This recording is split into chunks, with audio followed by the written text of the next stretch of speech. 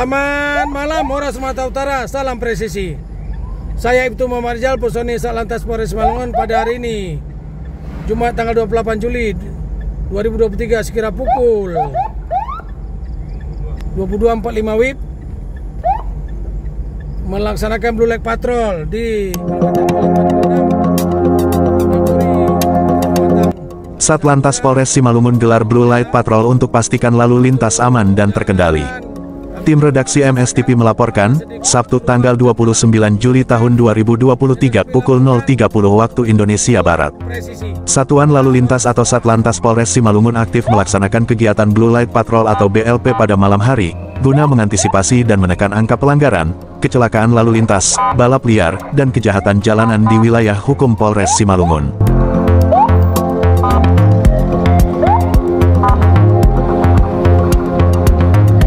Kegiatan ini dilaksanakan pada hari Jumat tanggal 28 Juli tahun 2023 pukul 20 waktu Indonesia Barat hingga selesai.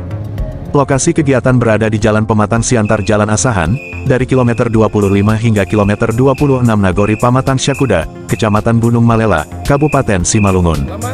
Dalam kegiatan Blue Light Patrol atau BLP ini, Satlantas Polres Simalungun melibatkan 8 personil Satlantas, dengan Kanit Rekiden Satlantas Polres Simalungun, Ibtu Muhammad Rizal, bertindak sebagai pada lantas.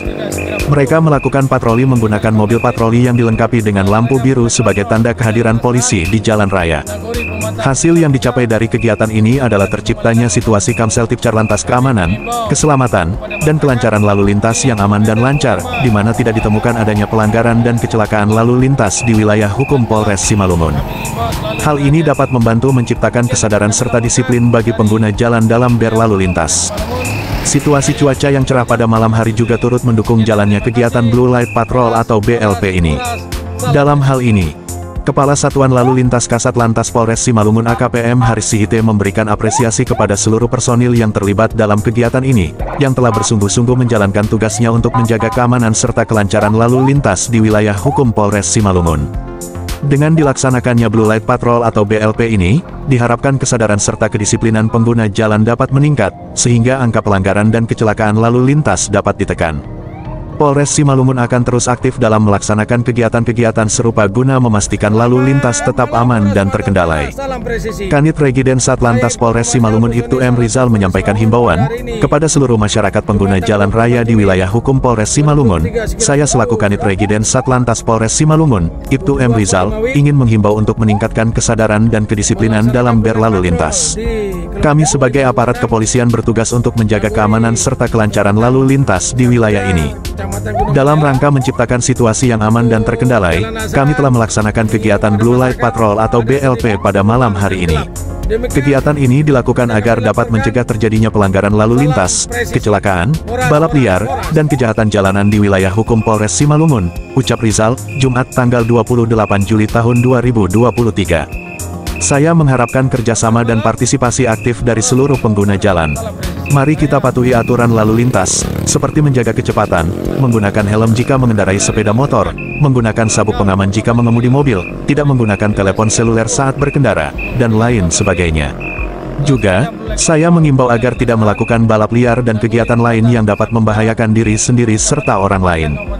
Dengan kesadaran dan kedisiplinan yang tinggi dari kita semua, kita akan mampu menciptakan lalu lintas yang aman dan tertib.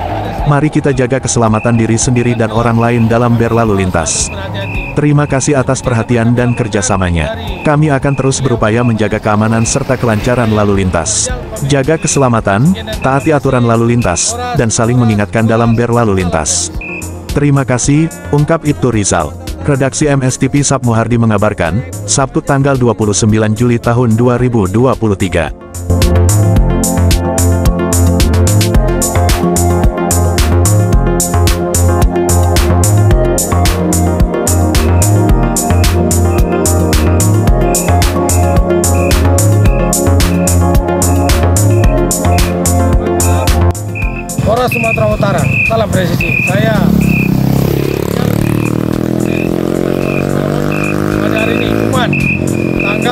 28 Juli 2023 sekira pukul 23.15 WIB melaksanakan Blue Patrol di Jalan Asahan, Nagori Pematang Syakuda, Kecamatan Gunung Malela, Kabupaten Simalungun. kami mengimbau kepada masyarakat di kilometer 25 26 ada sedikit lubang dan gelap. Kami himbau selalu berhati-hati. Demikian dapat kami laporkan dari wilayah hukum Kabupaten Simalungun. Muhammad kami undur diri. Sekian dan terima kasih. Horas, horas, horas. Salam presisi.